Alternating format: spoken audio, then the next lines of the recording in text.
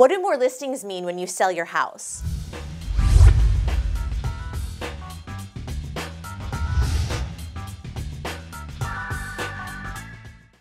I'm Eve Metlis with Watson Realty with your Tuesday tip. The number of homes for sale is up in Central Florida, but we're still in a seller's market because we have under six months worth of inventory. But the supply of homes for sale is growing. According to the latest data from Realtor.com, new listings, homeowners who just put their house up for sale, are trending up nationally and locally. This graph shows more homeowners are putting their homes on the market for sale compared to the same time last year. So what does this mean for you? If you've been putting off selling your house, maybe it's time to start thinking about it again before your neighbors do. While we're not going to suddenly have a surplus of homes for sale, each house that pops up on the market in your area runs the risk of pulling buyer attention away from yours.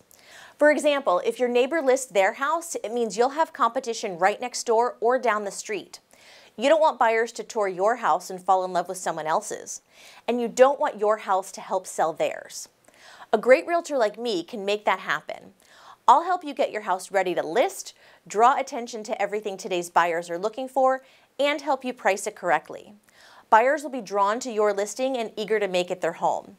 Here's your chance to get the best of both worlds.